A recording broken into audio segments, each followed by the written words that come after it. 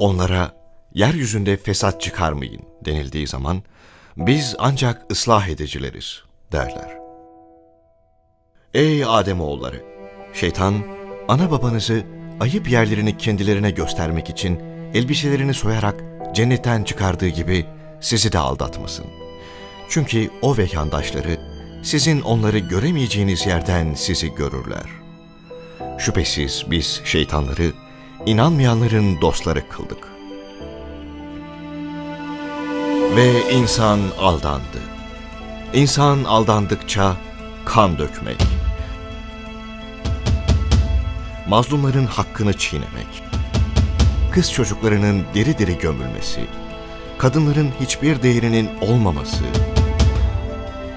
saldırganlık, ırkçılık, sömürü, dünyevi hırslar için ülkeler işgal edildi. Ne zaman ki insan aldandı, adaletsiz bir dünya kuruldu.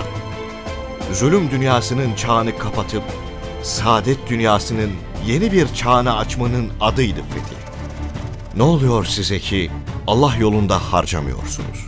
Halbuki göklerin ve yerin mirası Allah'ındır. Elbette içinizden fetihten önce harcayan ve savaşanlar daha sonra harcayıp savaşanlara eşit değildir. Onların derecesi sonradan infak eden ve savaşanlardan daha yüksektir. Bununla beraber Allah hepsine de en güzel olanı vaat etmiştir. Allah'ın yaptıklarınızdan haberi vardır. Fetih, yeni bir dünyanın habercisi. Muhakkak Rabbine döneceği bilincinde olan bir neslin yürüyüşü. Cahiliyeden kalma bütün adetlerin kaldırıldığı, kadınların Allah'ın emaneti olduğu, Müslümanların kardeş olduğu,